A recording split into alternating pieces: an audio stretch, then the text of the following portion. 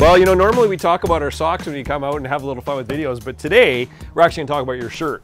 Yep, so the uh, sellers here really love hummingbirds, so I figured it was appropriate to wear my hummingbird shirt here at 2302 Park Ridge Place in View Royal. It's, uh, it's very pretty. Thank you. I'm talking about the house, of course. Absolutely.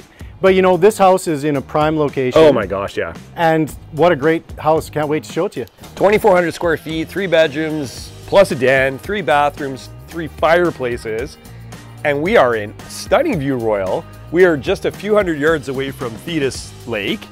We got Highland Pacific Golf Course super close, a hospital, Highway, highway, you betcha. It's a great location. And the house is spectacular. Let's have a look. come on.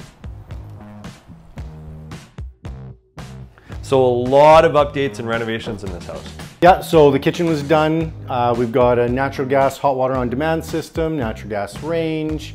Got some work that's been done on the roof, HRV. HRV system. Tell us about this location.